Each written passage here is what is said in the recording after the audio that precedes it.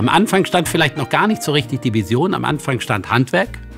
Und dann, als das Handwerk, ich sag mal, seinen guten Lauf genommen hat, dann kam dieses Mehr. Mehr auf Gäste eingehen zu wollen, mehr mit Gästen auch direkt zu tun zu haben. Und da ist der Wunsch nachher daraus entstanden oder auch die Vision daraus entstanden, was wäre der nächste Schritt? Das nächste Mehr. Es geht weit über Gastronomie nachher raus. Hotellerie ist ein völlig eigenes Pflaster. Und wenn man das sehr, sehr gut miteinander verbinden kann, ähm, dann ist das eine wunderbare Aufgabe auf der einen Seite, aber auch eine wahnsinnige Herausforderung, weil noch so viel mehr Details dann gefragt sind. Ich sag mal, als Koch, als Koch, der Handwerker ist, und, äh, aber mit ganz vielen Ideen und dann auf einmal zum Hotelier wird. Und äh, das sind Dinge, die gewachsen sind. Ja, ein Söringhof ist erstmal im Kopf entstanden. Und es war eine Vision da, es war, war eine Vision da, ein Landhaus am Meer auf den Dünen drauf.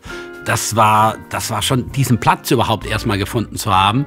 Äh, das war schon der erste Traum. Der Gedanke war aber immer, etwas Einmaliges zu schaffen, etwas wirklich Erstklassiges zu schaffen, auf einem Niveau, wo wir sagen, ab da aufwärts, aber auf gar keinen Fall drunter.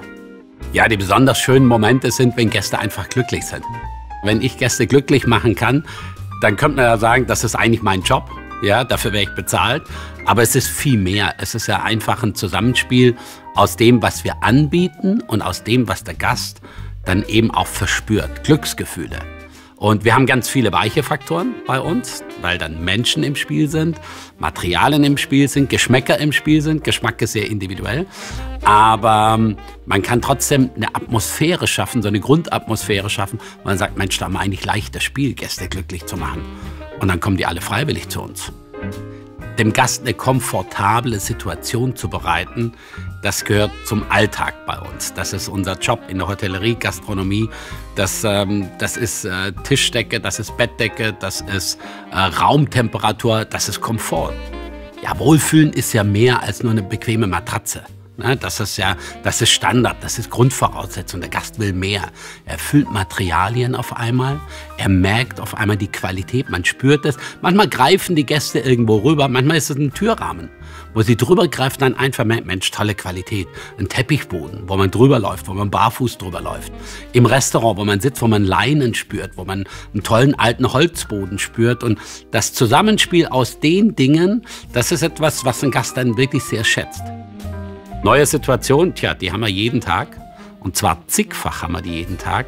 Und dann ist auch so, einen Weg zu finden, auf den Gast zuzugehen, auf den Gast ja, einzugehen, auch ein Stück weit. Manchmal sind es Dinge, die gar nicht so vordergründig sind, die man so nebenbei eigentlich bemerkt, wo man merkt so, oh, das hat gut getan. Und der Gast erinnert sich einen kleinen Schritt voraus sein, für einen Gast mitdenken, für einen Kunden mitdenken und ihm vielleicht etwas mit auf den Weg geben, wo er selber gar nicht dran gedacht hätte. Wenn ich merke, dass die Gäste rundum nachher zufrieden waren, gerne wiederkommen, ja, perfekt, schön.